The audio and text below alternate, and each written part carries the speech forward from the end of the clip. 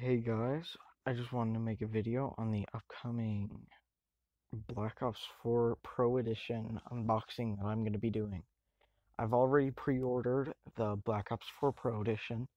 Hopefully, I'm going to be able to get the um, collector's box, only available at GameStop, for the unboxing too. I'm not sure about that yet. I'm trying to get some work so I could buy it but Pro Edition already paid for. I'll be doing an unboxing on that. Anyway, bye.